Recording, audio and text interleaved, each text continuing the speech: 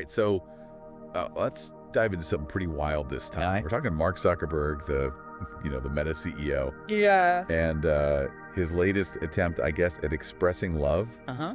a collaboration with T Pain covering Lil Jon's "Get Low." Oh wow. Yeah, you heard that right. Okay. The uh, the hoodie, an awkward silence, Zuck serenading his wife Okay. with an auto-tuned anthem, usually heard in uh, well, very different settings. Right. We've got a stack of articles, social media reactions, even some music analysis. Wow. So buckle up because this deep dive is going to unpack what this bizarre event reveals about Zuck's celebrity and maybe even modern relationships. This isn't just some random billionaire whim. Right. It's actually a fascinating piece of a larger puzzle. Okay. See, we all have that image of Zuckerberg, the hoodie, the stilted, interviews the guy more at ease with code than people. Yeah. But lately, there's been a very deliberate shift. The gold chains, the oversized tees, now the musical collab. It's like Zuckerberg 2.0 is trying to be the relatable billionaire. Uh-huh. The question is, does it work? Right. Because the classic Zuck image is deeply ingrained in public perception. Yeah. It's tied to Facebook's controversies, to the idea of tech elites being out of touch. Right. A song, even one as weirdly catchy as this, might not rewrite that narrative. And catchy it is in a can't look away from a train wreck kind of way. Oh, yeah. I mean, get low Really? for an anniversary gift. Wow. The song choice alone is meme worthy. Right.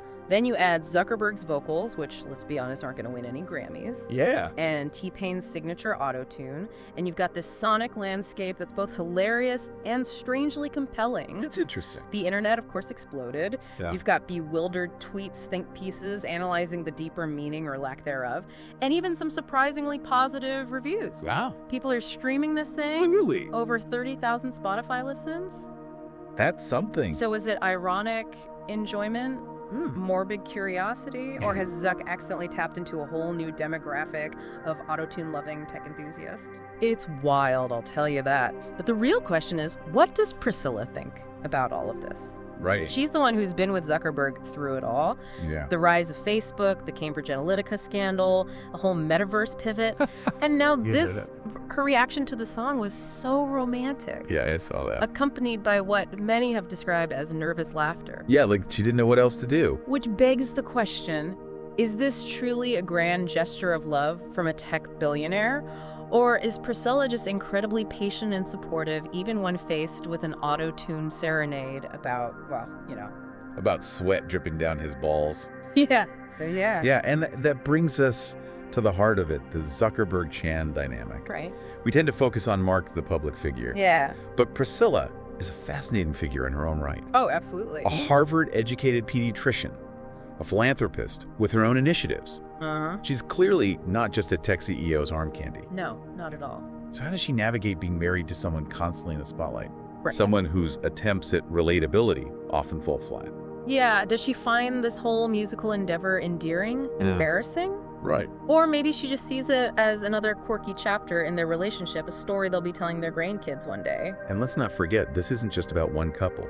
Right. It taps into a larger societal fascination with the ultra wealthy.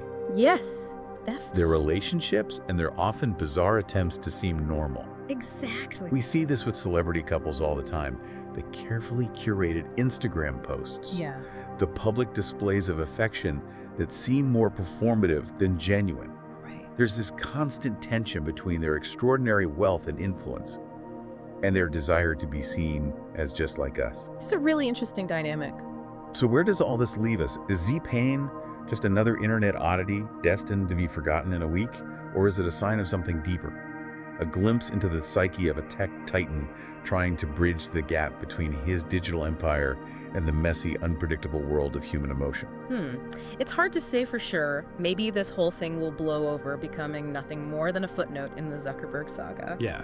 Or maybe it'll become a cultural touchstone. You know, Right. a reminder that even billionaires with the best PR teams can't always control their image. But here's what's really fascinating to me it shows that even in a world of curated social media feeds and perfectly crafted personas, there's still a yearning for authenticity, even if it comes in the form of a hilariously awkward, auto tuned love song. And that, my friends, is the beauty of it all. I think so. Whether you're a tech CEO a celebrity, or just a regular person trying to navigate the complexities of love and relationships.